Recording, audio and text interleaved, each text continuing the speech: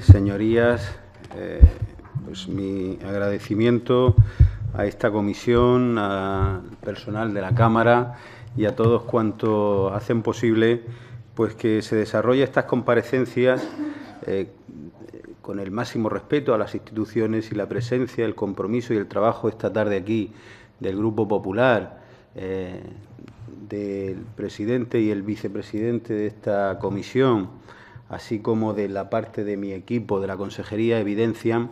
eh, la conciencia, el respeto y, que tenemos a esta Cámara, lo que esta Cámara representa y la importancia de los temas que aquí eh, se van a tratar y se van a abordar, que son tanto cuanto el, uno por, el un tercio del presupuesto de todos los recursos públicos de los murcianos eh, en el ámbito de la educación, la cultura y las universidades. Por tanto, mi agradecimiento, señor presidente, señorías, eh, por estar a la altura de las circunstancias de lo que la sociedad espera de nosotros y de la importancia institucional de este Parlamento. Dicho esto, como saben, la educación y la cultura son sin duda los primeros factores de igualdad de oportunidad y de progreso individual y social. La UNESCO recalca que para conseguir una educación para todos es imprescindible alcanzar una educación de calidad en los sistemas educativos, con el fin de conseguir los mejores resultados de aprendizaje. El secretario general de Naciones Unidas, Ban Ki-moon, afirmó que la educación es la piedra angular de cualquier sociedad. Es esencial para construir sociedades más sostenibles, pacíficas y prósperas.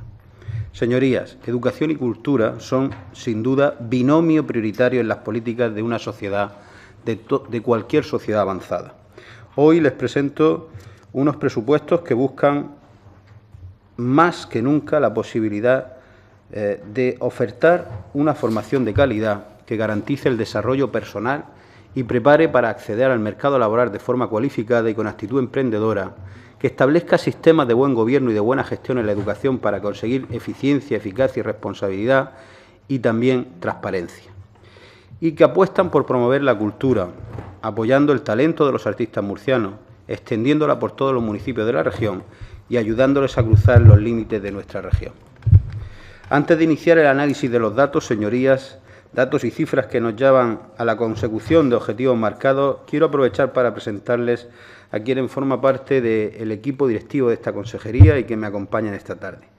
El director general de Planificación Educativa y Recursos Humanos, Enrique Ujaldón, la directora general de Centros Educativos, María Dolores Valcárcel, la directora general de Calidad Educativa, Innovación y Atención a la Diversidad, Begoña Iniesta, el director general de Universidades, Luis Javier Lozano, la directora general de Bienes Culturales, María Comas, la directora general del Instituto de Industrias Culturales y de las Artes de la región de Murcia, Marta López Briones,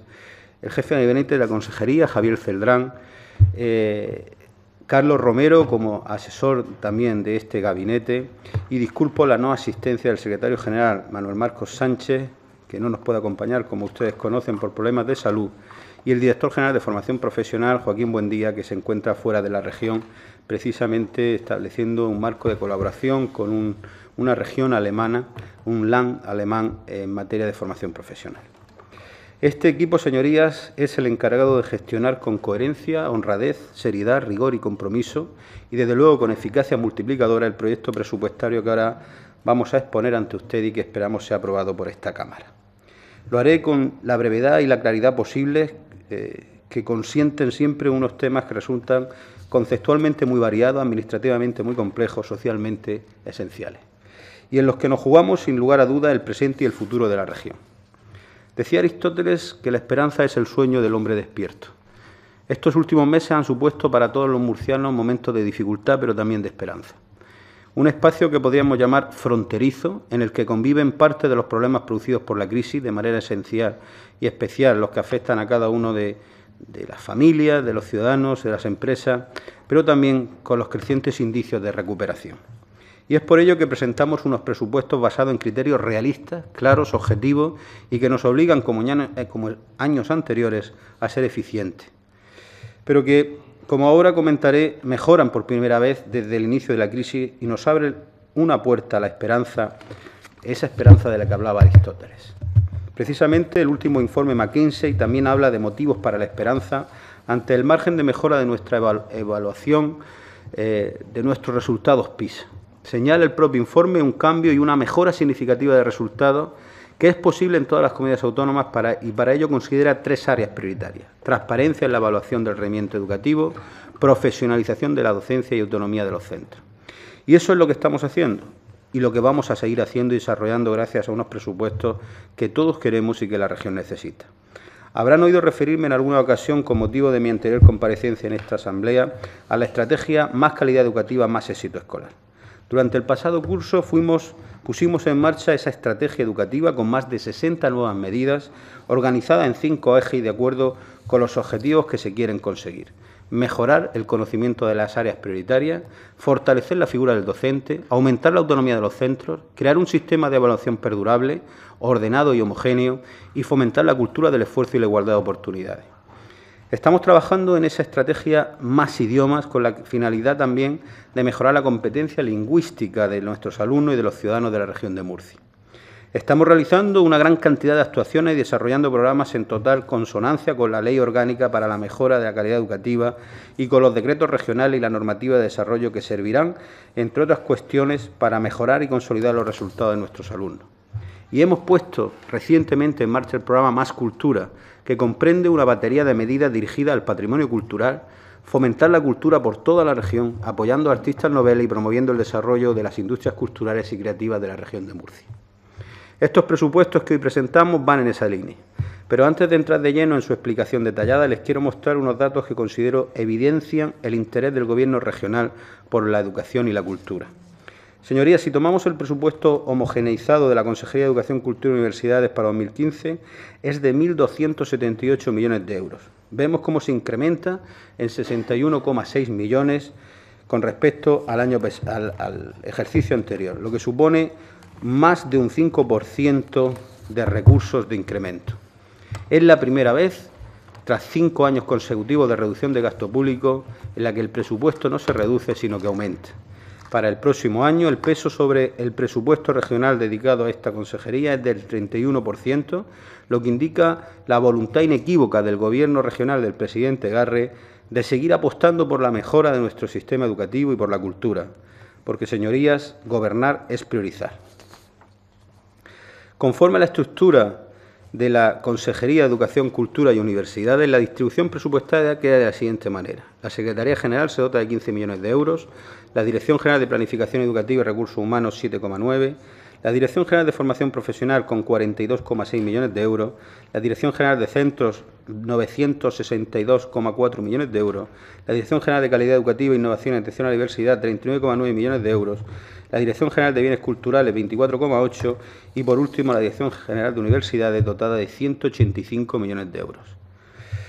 Entrando en, el, análisis del aire educativo, les quiero poner de manifiesto, en primer lugar, que si miramos solamente la parte del presupuesto relacionada con la educación, vemos como en este área es donde se ha producido un mayor incremento, el 5,15, es decir, 52 millones de euros más en el ámbito educativo asignado en esta consejería. Las inversiones reales crecen 3,2 millones, casi un 15%, y eso va a permitir, sin duda ninguna, mejorar el servicio público de educación para todos los ciudadanos. Por tanto, podemos decir que se trata de un presupuesto basado en criterio y compromisos realistas y claros, un presupuesto que aumenta por primera vez en casi 62 millones de euros con respecto al año anterior. Si desglosamos, podrán ustedes comprobar que el presente anteproyecto presupuestario que hoy venimos a defender destina 172,6 millones de euros a las universidades públicas, un 3,75% más que los presupuestos del ejercicio anterior. Nuestras instituciones de educación superior han venido afrontando hasta ahora esta crisis con responsabilidad, capacidad de gestión y un alto grado de implicación con la región de Murcia y con sus ciudadanos de modo que han sabido mantener en todo momento los servicios de calidad y la oferta de plazas que necesita nuestra región. Para el establecimiento de la subvención nominativa de las universidades públicas se ha partido del presupuesto final reconocido para el ejercicio 2014 y se ha incrementado un 3,2% con el fin de garantizar la dotación para el capítulo de personal, así como el mantenimiento de los programas de atención a la diversidad, voluntariado o igualdad de género. Todo teniendo en cuenta que el número de alumnos de las universidades públicas con respecto al curso 13-14 ha disminuido en torno a 2.200 matriculados menos. Estos importes se han calculado en ausencia de herramientas objetivas de contabilidad analítica a partir de los datos proporcionados por las propias universidades Y de esta forma la Universidad de Murcia recibirá más de 131 millones de euros destinados al funcionamiento general del campus de Murcia, Lorca y San Javier, mientras que la Universidad Politécnica de Cartagena contará con algo más de 35 millones de euros el próximo ejercicio.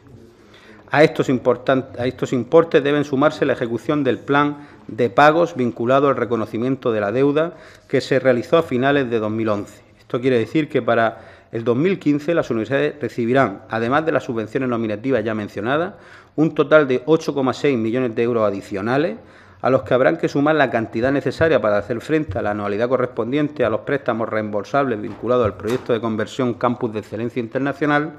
así como el Gobierno invertirá en 2015 en el sistema público universitario de educación superior un importe cercano a 176 millones de euros. Mantenemos también la partida que permite eh, el convenio de colaboración con la Agencia Nacional de Evaluación de la Calidad, ANECA,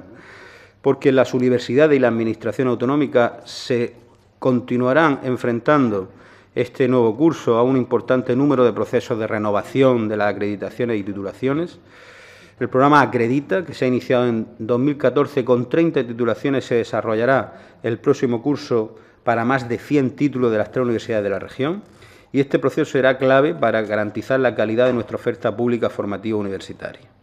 En relación a la financiación del campus de Lorca, la partida específica se incrementa hasta llegar a casi 300.000 euros, que se unirán a otros 300.000 que aportará el consistorio lorquino, lo que garantiza plenamente que se cubran los gastos de funcionamiento en dicho campus.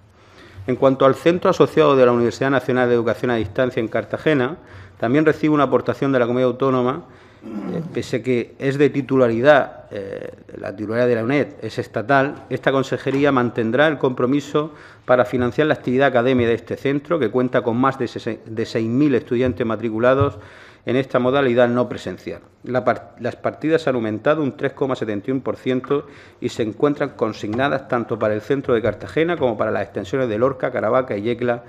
hasta cubrir un total de 145.000 euros. Respecto a la Escuela eh, de Enfermería de Cartagena, que depende orgánicamente de la Consejería de Educación, Cultura y Universidades, permítame que destaque tres importantes novedades. En primer lugar, el avance en los trámites para la licitación de las obras de remodelación de las dos zonas del Hospital Santa María del Roser en Cartagena. Con ellas, con estas obras, se pretende disponer de un aulario anexo al hospital, con tres aulas con capacidad para 70 estudiantes, así como una zona de secretaría, administración y despachos de profesorado. En segundo lugar, quiero destacar un aumento del 27% en los gastos de funcionamiento de dicha escuela,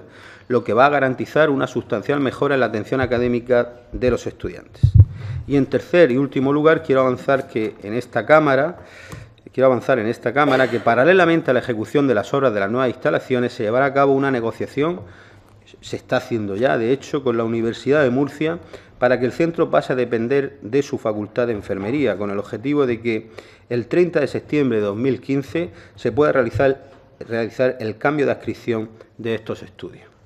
En relación a las ayudas para el transporte universitario, se mantiene la partida específica para la ruta Murcia-Cartagena, mientras que la partida destinada al transporte universitario en el área de Murcia, el llamado Unibono Universitario, se ha transferido a la Dirección General de Transportes para su integración con el resto de tarifas bonificadas de la comunidad autónoma.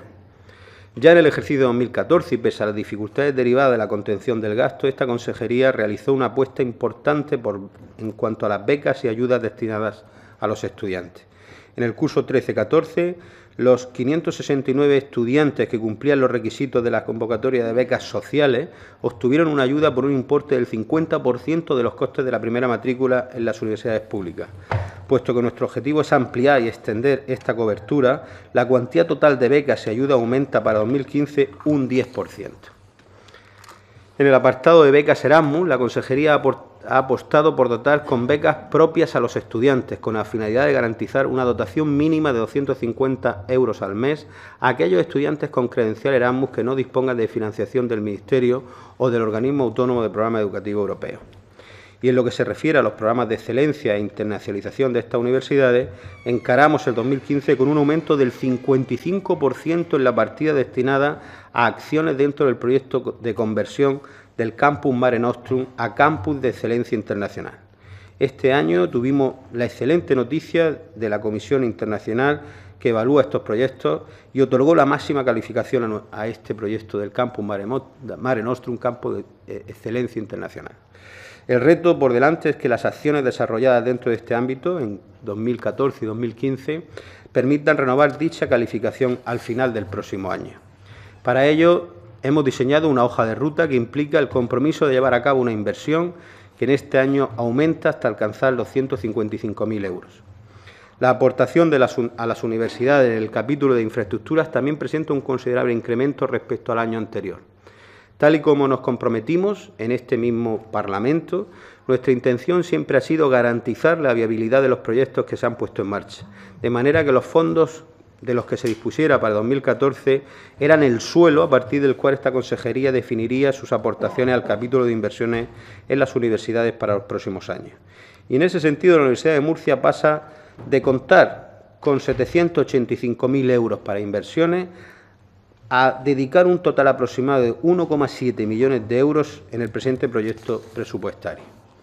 La Universidad Politécnica de Cartagena, por este concepto, pasa a contar con un millón de euros, una cantidad superior al millón de euros adicional a lo largo de 2015. Estos aumentos están vinculados a la concesión de 6 millones de euros destinados a infraestructura educativa universitaria en el periodo del programa operativo 2014-2020. En el caso de la UPCT tenemos previsto cubrir la primera fase de la Escuela de Arquitectura con estos recursos, mientras que la Universidad de Murcia tiene previsto destinarlo a edificios de aulario y laboratorios docentes del campus de las ciencias de la salud, proyecto en el que esta consejería ya lleva aportado más de 14 millones de euros de fondos propios. Así pues, en lo referente a las universidades, los presentes presupuestos van a convertirse en un marco estable para el presente y tal vez un punto de partida para el crecimiento en años posteriores, garantizando, garantizado por un plan de financiación plurianual que estará basado en el desarrollo de herramientas de contabilidad analítica por parte de las universidades, en el cumplimiento de objetivos de excelencia académica y en la búsqueda de la máxima eficiencia en la gestión de recursos. En lo que se refiere a las enseñanzas artísticas superiores, han pasado a depender orgánicamente de la Dirección General de Universidades y con esta medida se pretende dotar a los centros de una mayor autonomía y flexibilidad a la hora de desarrollar su acción docente. En total, mil estudiantes en estas enseñanzas, para los que está previsto una mayor oferta de empresas e instituciones en las que desarrollar sus periodos de, prácticas externas. La partida destinada a enseñanzas artísticas superiores aparece en 2015 agrupada con las enseñanzas de idioma y cuenta con una dotación presupuestaria importante para desarrollar la ampliación formativa y los nuevos objetivos en, referencia a la formación en lenguas extranjeras con el fin de implementar esas, eh,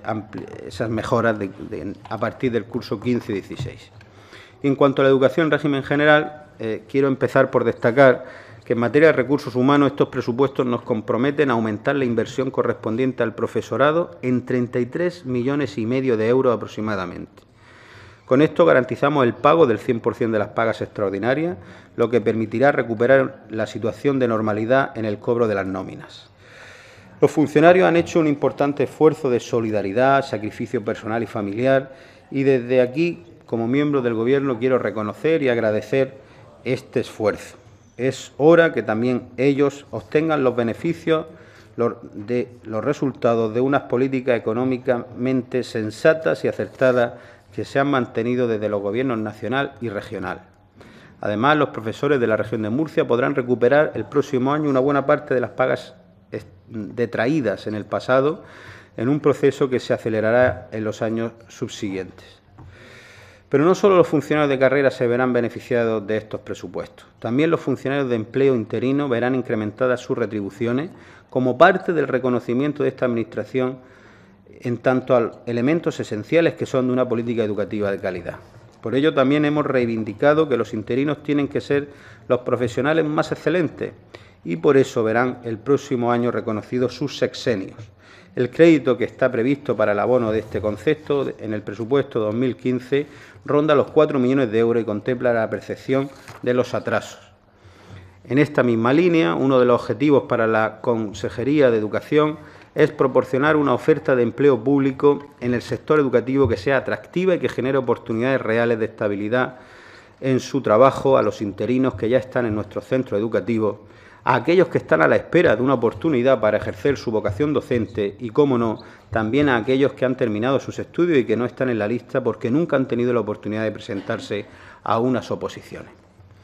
Debo decirles que personalmente tuve la oportunidad de trasladar al ministro Ver la necesidad de eliminar o incrementar notablemente la tasa de reposición en el ámbito educativo. Y debemos felicitarnos por la sensibilidad del Gobierno de España que ha atendido esas demandas. Ello nos va a permitir no solo convocar una oferta de empleo público educativo en el próximo ejercicio presupuestario, sino que también estamos garantizando que en el año 2016 convocaremos oposiciones en primaria de modo que los presupuestos que hoy defendemos son la mejor garantía de futuro para muchos jóvenes que cuentan con una preparación extraordinaria y que encuentran a la hora de la enseñanza, eh, que encuentran en la enseñanza su vocación irrenunciable. Y ahora, señorías, una oportunidad profesional. En lo que toca a la formación del profesorado, permítanme que les señale que los maestros y profesores constituyen el colectivo de funcionarios que más se forma a lo largo de su carrera profesional. Por eso estamos poniendo en marcha una política de incentivo a la formación autónoma que se convierte en un acicate al trabajo que ya realizan nuestros docentes. Evidentemente no basta con incentivar la formación autónoma. El Servicio de Formación del Profesorado trabaja para facilitar aquella formación más específica que no es fácil de encontrar en las universidades. Perdón. Y el Gobierno de la región de Murcia ha realizado un gran esfuerzo para que esto sea así, con una inversión, señorías, cercana a los 5 millones de euros entre personal y actividades de formación, a lo que hay que sumar las aportaciones hechas por ayuntamientos como Cejín, Yecla, Jumilla, Cieza y Fuente Álamo para mantener los servicios en servicio las extensiones de los CPR que operan en su municipio y que, por más que muchos no se quieran dar cuenta o todavía no se lo crean, siguen abiertas y haciendo un gran trabajo como lo están las de Lorca, Molina Segura, Murcia y Cartagena. Y en este sentido vamos a mantener el presupuesto en este área, a lo que se vendrá a sumar una serie de reformas encaminadas a mejorar la eficacia y la eficiencia de nuestro sistema de formación, reformas que ya han recibido el apoyo de todos, como se vio en la última reunión celebrada en el Consejo Asesor de Formación, donde todas las instituciones y sindicatos presentes apoyaron unánimemente la orden de formación autónoma que recoge estas ideas. En el mismo sentido, vamos a seguir trabajando para que la formación que la Consejería impulsa y se reconoce luego en, el salario de nuestros docentes en forma de sexenio responda precisamente a esa estrategia de más calidad y más éxito escolar. Señorías, el éxito y la calidad no son meras palabras. Los presupuestos que hoy defendemos nos van a permitir extender los programas bilingües hasta un 55% en los centros de primaria, incorporando 10 nuevos institutos a este modelo de enseñanza. De forma paralela, vamos a ofertar 500 nuevas plazas de profesores con este perfil, para que tengan la oportunidad de formarse en cursos de inversión lingüística. Mejorarán así sus competencias en lengua inglesa en un entorno real, a la vez que reciben recursos didácticos y destrezas para aplicar en el aula. Y todos estos proyectos están garantizados con un incremento en las distintas partidas presupuestarias que llegan hasta un incremento del 40% de dotación con respecto al año anterior en algunos ámbitos. En cuanto a la educación especial, los presupuestos para 2015 nos permiten asegurar los recursos necesarios para atender a los más de 23.500 alumnos con necesidad específica de apoyo educativo por el motivo que fuere. Como novedad en este campo vamos a aumentar significativamente el número de talleres específicos destinados a los alumnos de altas capacidades. Y de forma paralela vamos a mejorar la atención prestada al alumnado diagnosticado con necesidades educativas especiales asociadas al trastornos graves de conducta que precisa la atención sistemática de los servicios de salud mental a través de una experiencia piloto que ya anuncié en, la respectiva eh, comisión parlamentaria que supone la creación de la primera aula terapéutica que en estos eh, dirigida para estos alumnos y podrán continuar en ella su proceso educativo en los periodos de brotes fuertes de su enfermedad. Para el próximo ejercicio va a resultar también prioritario seguir trabajando en la reducción del asentismo y el abandono escolar, Trabajo que ha llevado a nuestra comunidad a reducir en más de 14 puntos nuestra tasa desde 2008, seis puntos más que la reducción media nacional. Y podemos presentar ante esta Asamblea unos presupuestos que aumentan en un 50% la partida destinada a estos efectos en la educación compensatoria que vamos a volcar en la puesta en marcha de pleno rendimiento y con garantías el segundo Plan Regional de Prevención del Asentismo y Abandono Escolar en colaboración con los ayuntamientos de la región de Murcia. En materia de formación profesional, esta consejería presenta unos presupuestos que garantizan el diseño y la puesta en marcha de la nueva estrategia de formación profesional 2015-2020, que se vertebra en cuatro ejes. En primer lugar, refuerzo del sistema integrado de formación profesional y aprendizaje permanente. En segundo lugar, la oferta formativa integrada de formación profesional para la especialización inteligente. En tercer lugar, incluir y potenciar medidas, recursos y procedimientos de aprendizaje permanente. Y en cuarto lugar, innovación, calidad y emprendimiento. Para la consecución de este gran objetivo contamos con 28 millones y medio de euros para el próximo año, lo que supone un 2,3% de incremento con respecto a 2014. Con estos recursos podremos, podremos avanzar en el desarrollo del Sistema Nacional de Cualificaciones, conseguir una mayor integración del conjunto de la formación profesional y mejorar el sistema de información y orientación profesional. Asimismo, vamos a seguir apostando por la formación profesional dual, para lo que nos hemos marcado el objetivo de cara al próximo curso de contar con más de 40 proyectos de, de, dual en centros públicos y unas 600 plazas para alumnos, colaborando con más de 300 empresas lo que supone aproximadamente duplicar las cifras con respecto al presente curso. Estamos convencidos del éxito de este modelo. Sin duda, también ocupa un lugar destacado por lo mucho que significa el reconocimiento, las opciones de futuro y la promoción de los trabajadores en cuanto al procedimiento de evaluación de competencias profesionales adquiridas por vías no formales e informales de formación. Por eso se ha dotado al Instituto de las Cualificaciones de la región de un presupuesto un 62% mayor al del curso anterior, que va a permitir convocar 800 plazas más. Y esto debemos unirlo a otros 2 millones de euros aproximadamente vamos a invertir en el apartado referente a la educación de adultos encaminada a que más de 20.000 ciudadanos retomen sus estudios y su formación. Asimismo, vamos a incorporar un nuevo IES a esa red de centros educativos que imparten acciones de formación profesional para el empleo este año próximo ya serán 11 centros, 7 IES y 4 centros integrados de FP, los que complementen su oferta con acciones de formación dirigida a trabajadores en activo y desempleados, para lo que contarán con un presupuesto de 1,2 millones de euros provenientes del Servicio Regional de Empleo y Formación, casi un 15% más que el año anterior.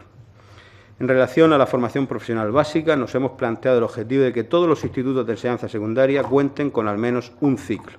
En esa línea vamos a incrementar la colaboración con las organizaciones no gubernamentales para el desarrollo de una oferta diversificada de programas que atiendan las necesidades específicas de iniciación profesional de los colectivos con especiales dificultades de inserción social y laboral. Y para ello, el presente presupuesto contempla un incremento del 32% en la partida reservada a la inversión en subvenciones a entidades sin ánimo de lucro, con una dotación que supera el millón de euros con lo que pondremos en marcha 30 proyectos de los que se beneficiarán unos 500 alumnos. También vamos a invertir un millón de euros, el doble que en el ejercicio presente, en la renovación de los equipamientos de formación profesional. Y, como destacada novedad, vamos a poner en marcha un servicio de empresas con funciones para asesorar a empresas sobre perfiles profesionales existentes, intermediar con los centros de formación profesional, gestionar una bolsa de empleo para titulados de formación profesional y detectar nuevas cualificaciones y necesidades de formación. Queremos, en suma, comprometernos también a ampliar esta oferta de títulos de formación profesional en teleformación, en eh, formación profesional bilingüe y en otros ámbitos que puedan ayudar a mejorar la cualificación de los alumnos y su posterior empleabilidad. Vamos igualmente con este presupuesto a contemplar una mejora sustancial de los recursos destinados a la infraestructura en la red de centros educativos de la región de Murcia. A este fin contamos con más de 24 millones de euros, lo que supone un incremento de casi el 17% en el capítulo de inversiones directas con respecto al año 2014. Se realizarán importantes obras, tanto en el mantenimiento como en la nueva ampliación, construcción y mejora de infraestructura educativa, así como para eh, continuar la recuperación de los centros eh, educativos de Lorca dañados por el seísmo, donde tenemos previsto invertir algo más de 5 millones de euros. Estos son los principales proyectos contemplados en el presente proyecto presupuestario. Finalización del IES Roginer y del Colegio San José de Lorca, finalizar el Colegio de Educación Infantil y Primaria Escuelas Nuevas del Palmar y el Miguel Medina de Archena, finalizar la ampliación de las aulas del Colegio Asunción Jordán en Puerto Lumbreras, finalizar la sustitución de cubiertas del Colegio de Educación Infantil y Primaria Nuestra Señora de la Asunción en Jumilla, finalizar las obras de Nuestra Señora del Carmen de San Pedro del Pinatar y Villa de Ulea, construir el pabellón deportivo del IES Roginer e Ibáñez Martín en Lorca, acometer la nueva construcción del Colegio de Educación Infantil y Primaria Pasico Campillo de Lorca,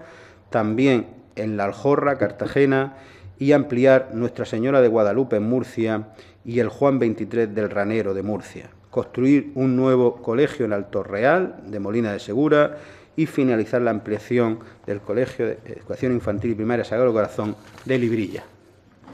A todo esto hay que unir la tramitación y gestión de todas aquellas inversiones e infraestructuras que se financiarán con fondos FEDER, así como las incontables actuaciones de menor envergadura, pero de singular importancia que se realicen para llevar a cabo el mantenimiento y la mejora de infraestructura educativa en todos los municipios de la región, muchas de ellas en estrecha colaboración con los distintos ayuntamientos. Al mismo tiempo, estos eh, presupuestos responden a nuestro firme compromiso social con las familias más necesitadas de nuestra región.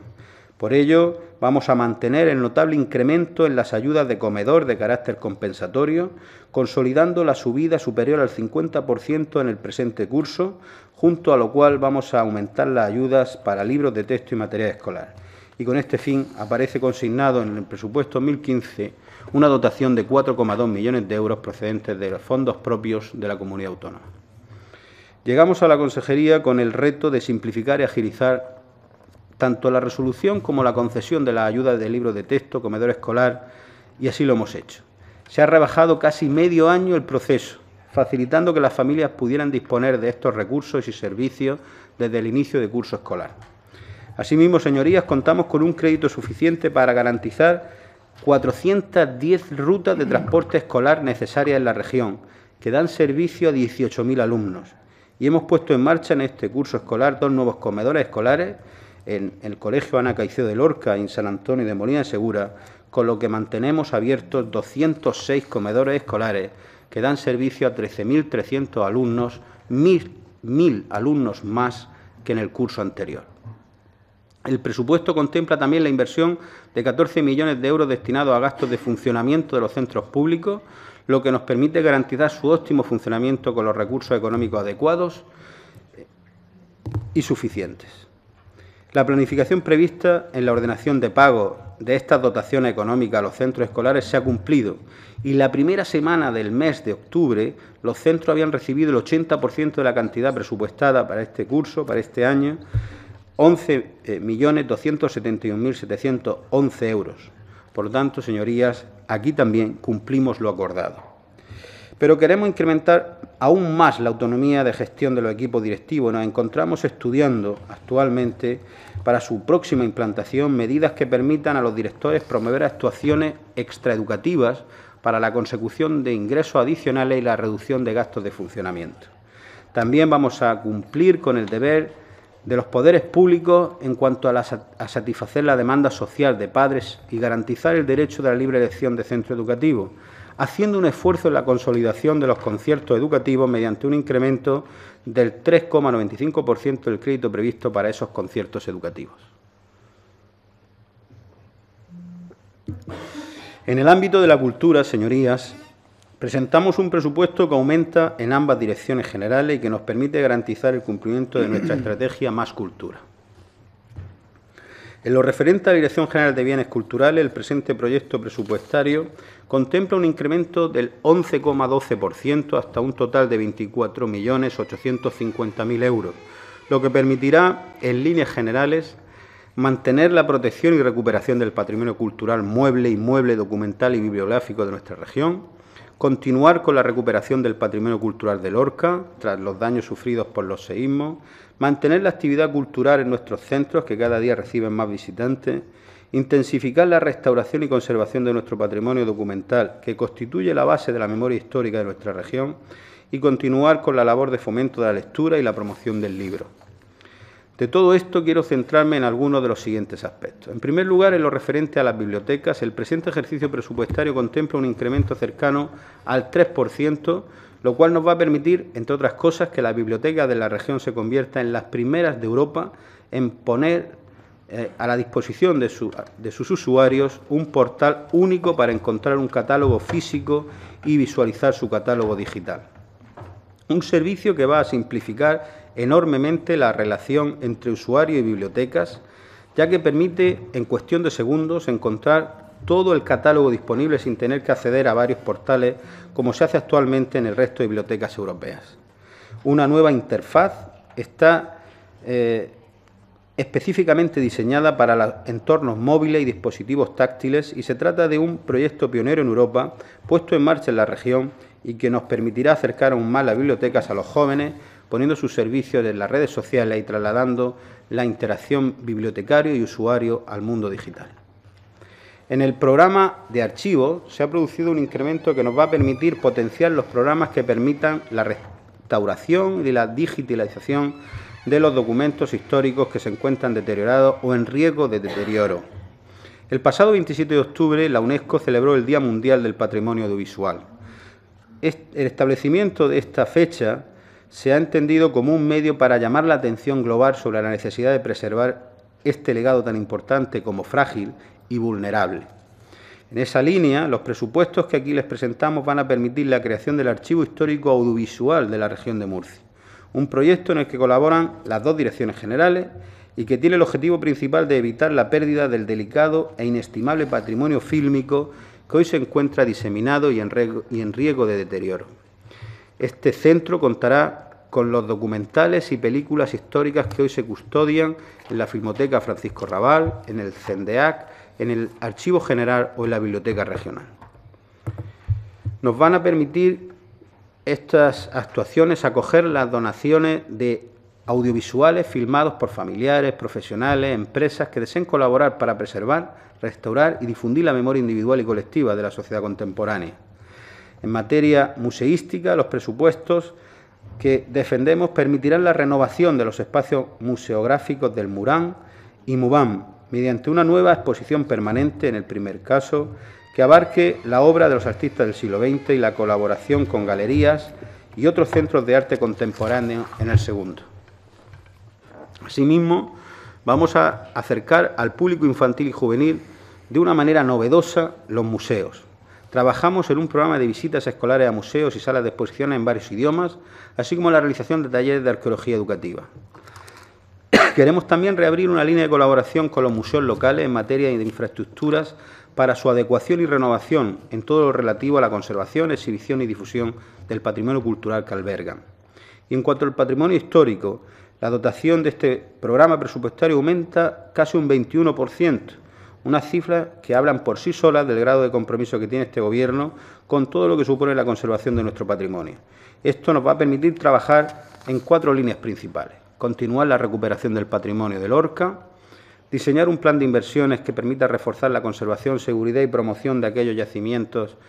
de nuestra región que están declarados Patrimonio de la Humanidad por la UNESCO y diseñar y poner en valor eh, en marcha un plan de conservación y restauración de los molinos que cuentan todos ellos con la protección legal que les brinda el haber sido declarado en su conjunto bienes de interés cultural. En cuanto al centro de restauración, también se ve aumentado su presupuesto, lo que garantiza su funcionamiento eh, con calidad y con recursos suficientes. El presupuesto del Instituto de Industrias Culturales y de las Artes, el ICA, ve aumentado su presupuesto en más de un 10% en relación al ejercicio económico anterior. A ello ha de unirse una previsión de ingresos propios que puede llegar a los 850.000 euros, con todo lo cual permitirá un proyecto sólido de promoción de las artes y las industrias culturales en torno a distintas líneas de actuación principales. En primer lugar, acometer el mantenimiento e invertir en la programación de actividades culturales y artísticas de los centros dependientes del ICA, el Auditorio y Centro de Congresos, Víctor Villegas, la Filmoteca Regional, el Centro Párraga, CENDEAC, Sala Verónicas y la Conservera. En segundo lugar, disponer de la dotación económica necesaria para dar cobertura y apoyar sólidamente a la Fundación Orquesta Sinfónica de la región de Murcia. En tercer lugar, incentivar la promoción de los jóvenes creadores y artistas para su proyección, exponiendo sus obras, sus proyectos y tener experiencia de movilidad fuera de España. Y en cuarto lugar, queremos colaborar con la promoción cultural de los municipios murcianos, promoviendo la circulación de actuaciones, eventos y agentes culturales, apoyando sus festivales y, eh, eventos de singular importancia y trascendencia. Y por último, vamos a poner en marcha varios programas de mediación cultural de conexión entre la educación y la cultura. Respecto al auditorio, mantendremos los ciclos de danza, grandes conciertos, la orquesta sinfónica, otras músicas, conciertos en familia, conciertos escolares y ciclos de banda. Para todo ello estamos preparando una programación innovadora, de calidad y atractiva, al tiempo que queremos diseñar una política de precios populares que no deje fuera a nadie de, este eh, de esta interesante oferta cultural. Nuestro centro de congresos seguirá siendo un año más sede de los eventos culturales más importantes de la región y para todo ello cuenta con un presupuesto cercano a los 2 millones de euros. Para la nueva temporada 2015, el Centro Parra gestionará 240.000 euros destinados a conseguir que se cuente con una mayor representatividad de los jóvenes talentos que van a encontrar en este centro un lugar de acogida para la expresión de su creatividad a través del nuevo plan Brota que ya hemos presentado recientemente. Este programa se completa con un máster oficial de danza contemporánea y arte en movimiento que se extenderá de octubre de 2014 a julio de 2015 en residencias mensuales. En cuanto al CENDEAN, nuestro Centro de Documentación y Estudio Avanzado de Arte Contemporáneo contará con un presupuesto que ronda los 120.000 euros, lo que supone un incremento de más del 65% con respecto a este año.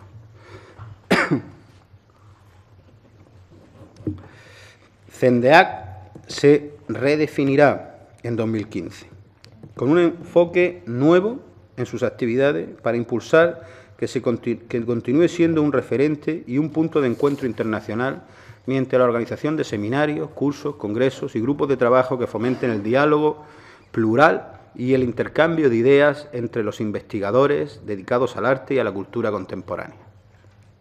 También la Filmoteca Regional incrementa su presupuesto para el ejercicio 2015 hasta alcanzar los 227.000 euros, a los que se unen 180.000 de los que se va a beneficiar merced a la actuación relativa a la creación del Archivo Histórico Audiovisual de la región de Murcia, de las que he hablado anteriormente. En cuanto a los espacios expositivos, invertimos alrededor de 200.000 euros para revitalizar la conservera y la sala Verónica, que ya están acogiendo nuevos proyectos expositivos e iniciativas culturales diversas, hasta ampliar la oferta a los ciudadanos interesados en las distintas disciplinas artísticas contemporáneas. Y como novedad, queremos que desde el se recupere el espacio de la antigua Galería Clave para poner en marcha proyectos que den cabida a actividades continuadas en torno a la fotografía y a la imagen de autor. Quiero también anunciarle la dotación eh, para este nuevo curso de unas becas de residencia para jóvenes talentos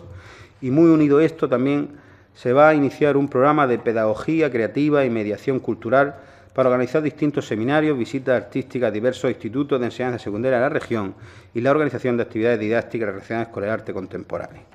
En cuanto al plan escena, que tanto ha supuesto para las compañías de teatro de la región y para las programaciones culturales de los municipios, el próximo ejercicio contará con 80.000 euros destinados a garantizar su continuidad y se extenderá su ámbito de aplicación a las asociaciones culturales sin ánimo de lucro, con un presupuesto previsto de 40.000 euros.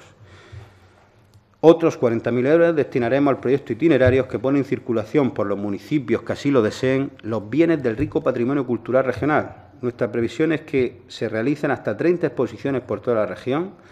en 2015, de las que se presenten unas 250 obras y piezas de arte de la colección del ICA.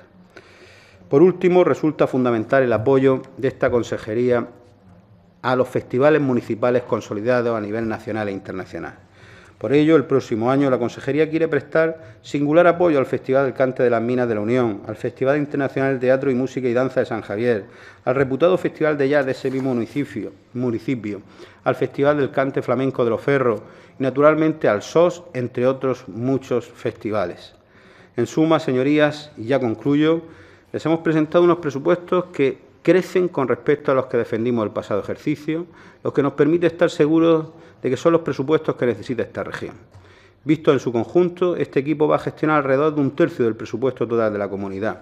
lo que dice mucho del grado de compromiso con el que el Gobierno del presidente Garre defiende la educación y la cultura. Uno de cada tres euros del presupuesto regional destinados a políticas educativas y culturales, con una subida que supera el 5% respecto al presupuesto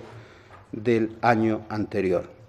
No obstante, sabemos que con el dinero solo no basta. Por eso, desde la Consejería trabajaremos día a día en el diseño de normativas, estrategias, proyectos, innovaciones, ideas y realidades destinadas no solo a garantizar la eficacia y la eficiencia de la gestión del presupuesto que sale de los impuestos que pagan todos los murcianos,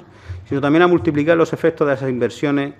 y que puedan tener en cuanto a la excelencia de nuestro sistema educativo, el prestigio científico y didáctico de nuestras instituciones universitarias y la calidad respecto a la tradición y apuesta por la vanguardia en la infinidad de propuestas que se ofertan en nuestros espacios culturales. Señor presidente, señorías, por encima de todo,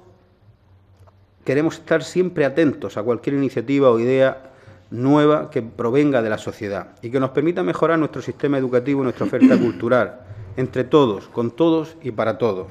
Finalizo agradeciendo de nuevo a todo el personal eh, de esta Asamblea, al señor presidente de esta comisión, señorías, y a la consejería que represento, a técnicos, funcionarios, directores generales, a sus equipos, el gran trabajo que se realiza para intentar ser útiles a los murcianos en el ámbito de la educación, la cultura, y las universidades. Desde luego, con estos presupuestos creemos que es un paso importante. Muchas gracias.